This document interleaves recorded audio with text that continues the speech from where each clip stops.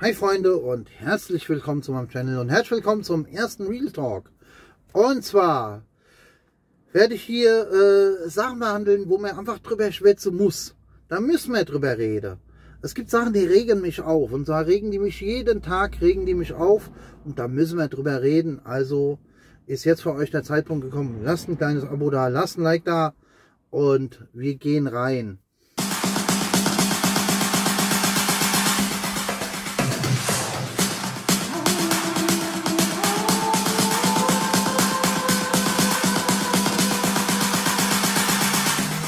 Und zwar war ich unlängst bei, in Frankfurt bei einem Metzger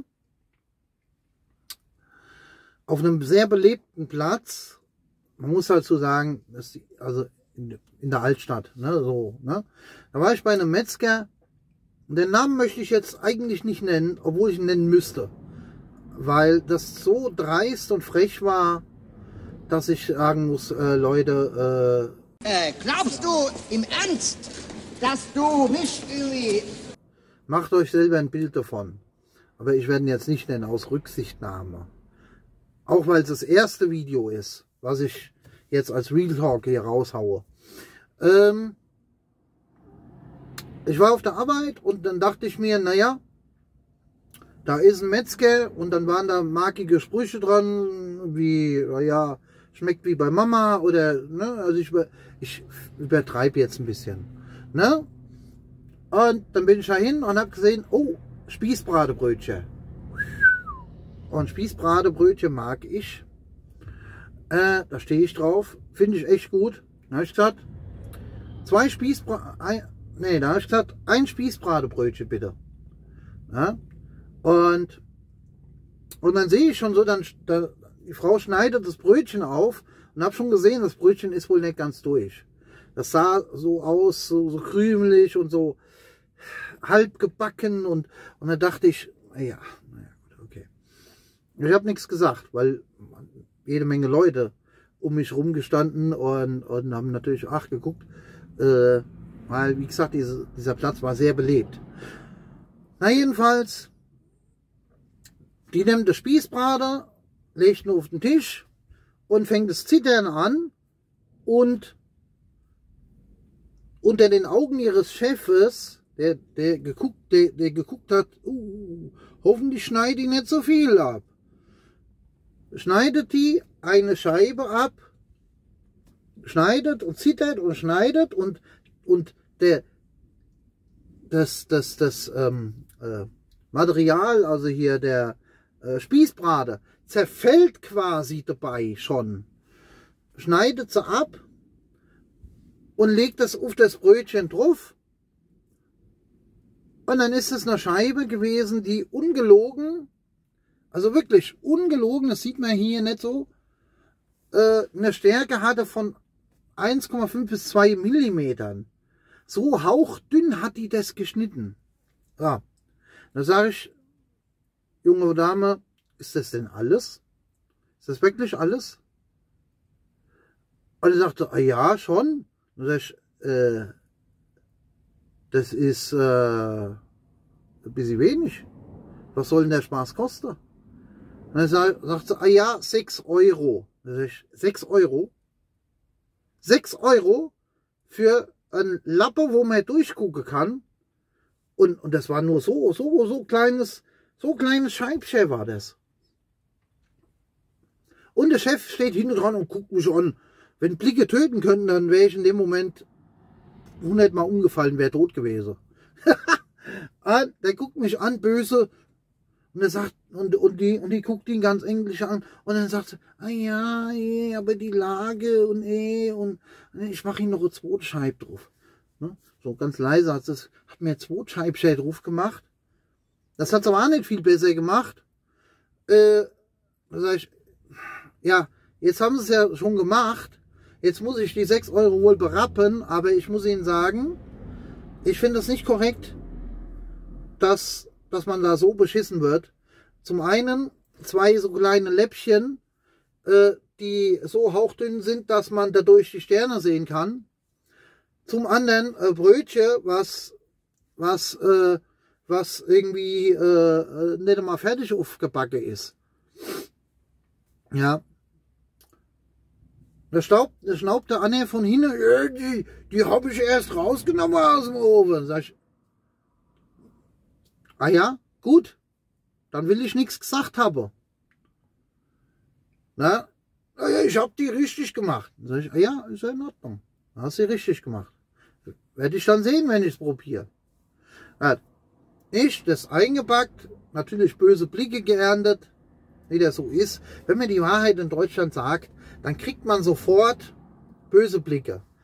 Wenn man sich traut zu sagen, hier Leute, ich, wofür bezahle ich 6 Euro für so, für so ein bisschen Lappe äh, und ein kaputtes ein scheiß Brötchen, sorry, dass ich das so sagen muss, äh, dann ist man sofort, äh, dann ist man sofort äh, ausgestoßen und dann vielleicht ist man auch noch ein Nazi.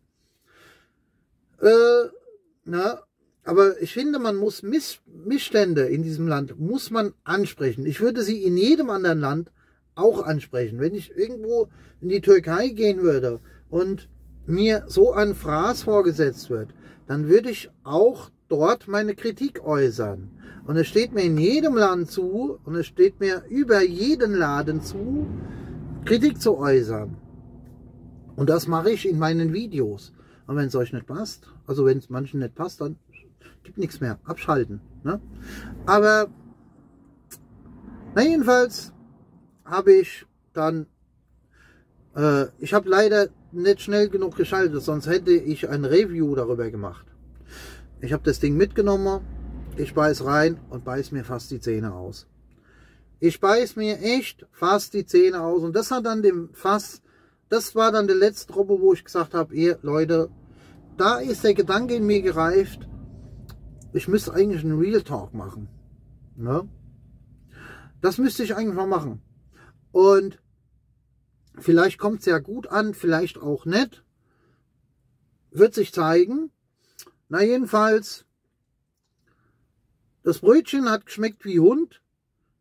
Es war, zum einen war es alt, zum anderen war es nicht richtig aufgebacken. Äh, es war eiskalt innen. Es war außen kross. Ja, was heißt kross? Es war stahlhart außen. Und innen war es matschig und weich und kalt. Nass fast. So, dann diese zwei, zwei Läppchen da, diese zwei, ja, das war nicht viel mehr wie, was habe ich, was habe ich hier, was dem gleich kommt. Ja, hier. Viel mehr war das nicht. Und geschmeckt hat es süßlich. Ich habe die ja dann letzten Endes runtergenommen. Das, beim, beim Runternehmen vom Brötchen sind die mir schon auseinandergefallen. Da muss ich wirklich sagen, Leute, äh, nee, äh, das geht nicht. Ich meine, man kann sowas, äh, man kann sowas begründen mit, ah ja, das ist ja die Lage, die Lage es ist an einem belebten Platz, mitten in der Altstadt. Da sind die Mietenschweine teuer. Ähm, und deswegen müssen wir das so schweineteuer verkaufen.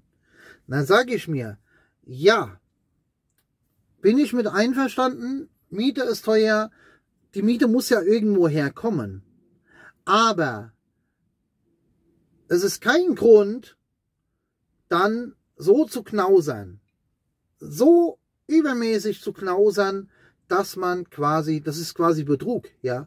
Also der Materialwert, den ich da in der Hand hatte, waren vielleicht, ja, sagen wir mal, ein Euro. Äh, ein Euro. Und da bin ich schon gut dabei. Ein Euro. Mehr kann das nicht gewesen sein. Und, und sechs Euro eingenommen.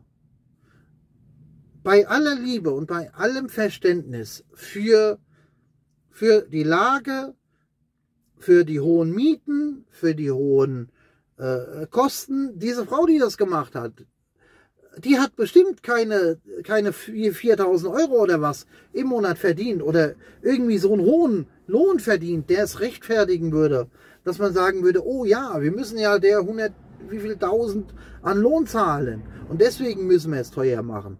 Nein, das ist Quatsch. Und außerdem ich finde, ich bin jetzt kein Metzger, aber ich finde, der Materialwert, der, der reine, ist nicht so hoch, dass man nicht einen billigeren Preis raushauen. Gerade an einem beliebten Platz, da würde ich mir Reichweite generieren auf irgendeine Art. Vielleicht, man kann sie auch kaufen. Mache ich zwar nicht so, aber, aber als Geschäftsmann, als Geschäft würde ich, würde ich das sogar in Erwägung ziehen. Und da würde ich sagen, ja, Leute, große Aktion, Spießbratebrötchen für, für 2,50. Spießbratebrötchen, ein Brötchen für 2,50. Und dann so eine dicke Scheibe drauf machen. Und dann kann man dann am Ende des Tages sagen, okay, mit den äh, Läppchen habe ich vielleicht, habe ich 20 verkauft am ganzen Tag. Aber mit so dicken, also mit den Läppchen für 6 Euro, habe ich vielleicht 20 verkauft. Ist jetzt mal so eine Mutmaßung von mir. Aber mit den so dicken für 2,50 habe ich 50.000 verkauft.